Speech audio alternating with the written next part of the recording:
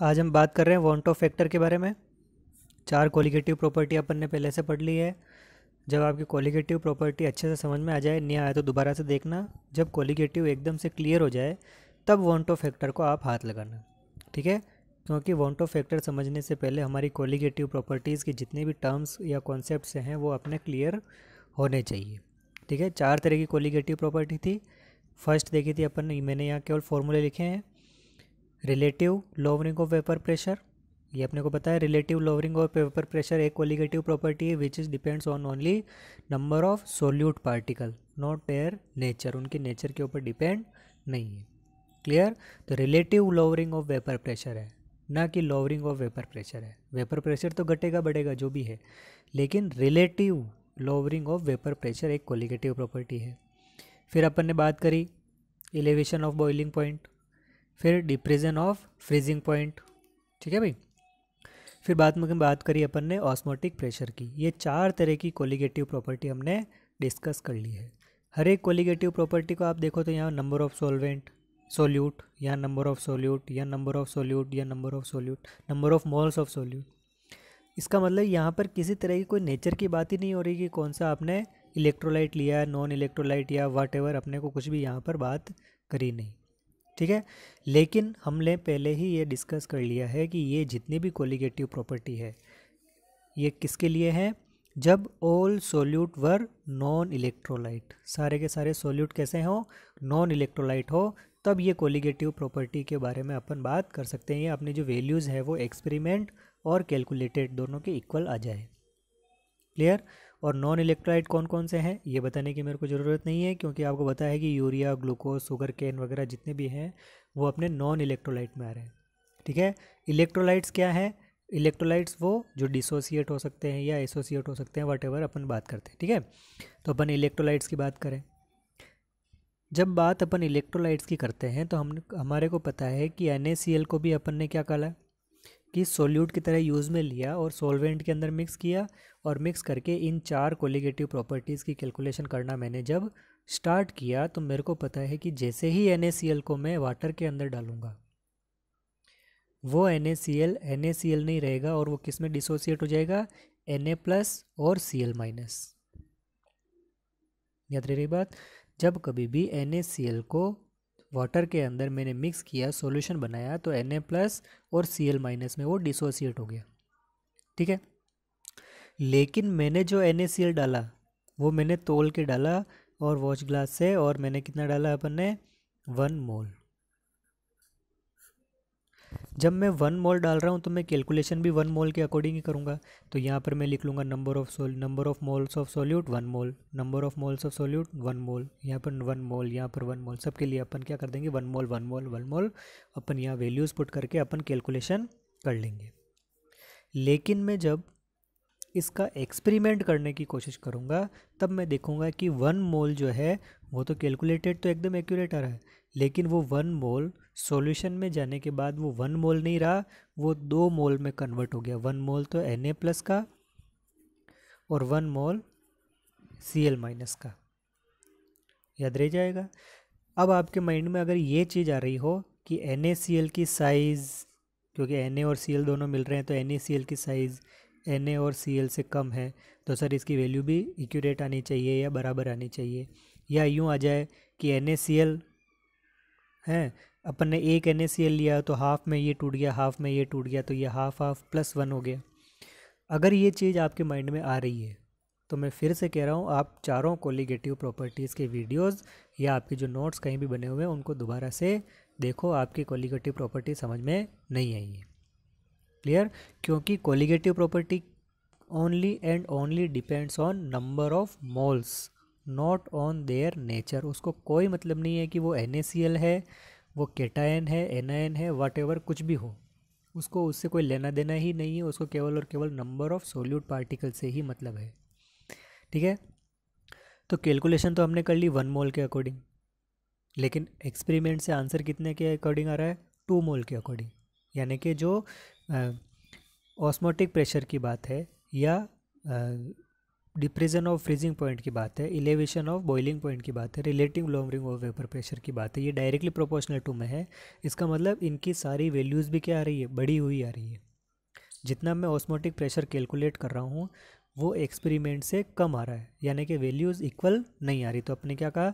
Observe colligative property is equal to, not equal to calculated colligative property.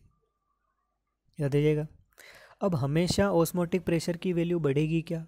जैसे अपन ने NSCL डाला, मैंने जो ऑस्मोटिक प्रेशर की कैलकुलेट कर कैलकुलेशन करनी है, वो कैलकुलेशन मैंने थ्योरेटिकल करी।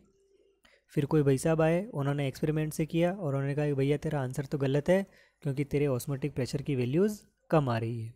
क्यों? क्योंकि वो जो भाई साहब हैं, वो तो दो मोल के अकॉर्डिंग एक्सपेरिमेंट कर रहे हैं और मैं जो कैलकुलेशन कर रहा हूँ, वो कैलकुलेशन वन मोल के अकॉर्डिंग हो रही है। क्लियर अब क्या हमेशा बढ़ेगी क्या? नहीं, ऐसा नहीं होगा। क्योंकि यहाँ डिसोसिएशन हो रहा है और बहुत सारे मोलिक्यूल्स ऐसे होंगे जो सॉल्यूशन में जाने के बाद एसोसिएट भी हो सकते हैं। तो एसोसिएट कौन हो सकते हैं? बहुत सारे एग्जाम्पल्स हैं, उसमें से एक एग्ज़ाम्पल मैं आपके लेता हूँ एसिटिक एसिड जैसे ही मैंने एसिटिक एसिड को और वाटर के अंदर मिक्स किया, ये एसिटिक एसिड का एक मोलिक्यूल ये एसिटिक एसिड का दूसरा मोलिक्यूल दोनों आपस में एसोसिएट हो गए विथ हाइड्रोजन बॉन्डिंग यहाँ क्या बन गई है? हाइड्रोजन बॉन्डिंग मैंने तो दो समझ के उसको पानी के अंदर डाला, लेकिन अंदर जाने के बाद वो कितने बन गए दोनों मिलकर एक मोल बन गया। तो ऑस्मोटिक प्रेशर की वैल्यूज़ क्या आ जाएगी, कम होकर आ जाएगी। मैं कैलकुलेट करूँगा ज़्यादा, और एक्सपेरिमेंट से कितना आ जाएगा? कम। क्लियर इन सारे मुसीबतों को दूर करने के लिए डिसोसिएशन की एसोसिएशन की, ये जो वेरिएशन आ रहा है, इसको बोलते हैं अपन एबनॉर्मल ठीक है? अब ये एबनॉर्मल अगर कोलिगेटिव प्रॉपर्टी एबनॉर्मल आ रही है तो जो हम सोल्यूट का मोलर मास कैलकुलेट करने की कोशिश कर रहे हैं, वो सोल्यूट का मोलर मास भी क्या आएगा? एबनॉर्मल आएगा। तो इसको बोल देंगे एबनॉर्मल मोलर मास ठीक है? जो एक्सपेक्टेड है, जो नॉर्मल वैल्यूज़ है, उससे क्या आ गई? या तो हाइयर या लोअर तो उसको क्या कह दिया अपन ने? एबनॉर्मल मोलर मास क्लियर अब ये एबनॉर्मल मोलर मास की जो प्रॉब्लम आई, इस प्रॉब्लम को दूर करने के लिए धरती के ऊपर वॉन्ट ऑफ़ फैक्टर नाम वॉन्ट ऑफ़ नाम के एक साइंटिस्ट का जन्म हुआ और उसने एक फैक्टर दिया और उस फैक्टर के लिए कहा कि वो फैक्टर क्या है? तो वो फैक्टर आई से डिनोट किया हुआ है और उसकी वैल्यूज़ कैसे फाइंड आउट करेंगे? तो अपन कहेंगे total number of moles of solute केवल और केवल सोल्यूट की बात होगी। आफ्टर डिसोसिएशन और एसोसिएशन चाहे डिसोसिएशन हो रहा है, चाहे एसोसिएशन हो रहा है, आप टोटल नंबर ऑफ़ मोल्स पहले कैलकुलेट कर लो। Then upon total number of moles of solute before after calculation बाद में और पहले। ठीक है? कितना सोल्यूट में फ़र्क आया है आपका एक्सपेरिमेंट करने के बाद या पहले? ठीक है? तो आफ्टर अपॉन बिफोर याद रहिएगा बात। तो क्या कह दिया अपन ने? I is the total number of moles of solute after dissociation और association upon total number of molar mass total number of moles of solute before dissociation and association ठीक है? अब आफ्टर आफ्टर का मतलब ऑब्जर्व्ड तो आपका observe कितना आया है? अपॉन बिफोर बिफोर मतलब आप कैलकुलेट करके निकाल रहे हो? तो कैलकुलेटेड कितनी वैल्यू आई है? इन दोनों का आप रेशो निकाल दो तो आपके आई वैल्यू आ जाएगी। ठीक है?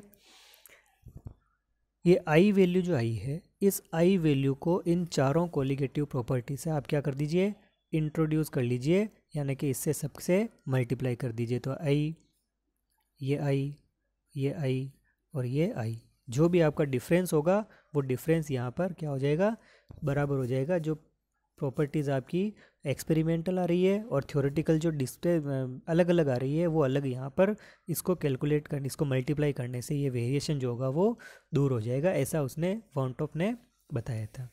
ठीक है भाई? अब अपन बात कर रहे हैं आप लोगों के न्यूमेरिकल्स तो न्यूमेरिकल्स जो आएँगे वो डिसोसिएशन कॉन्स्टेंट के ऊपर बेस्ड आएँगे।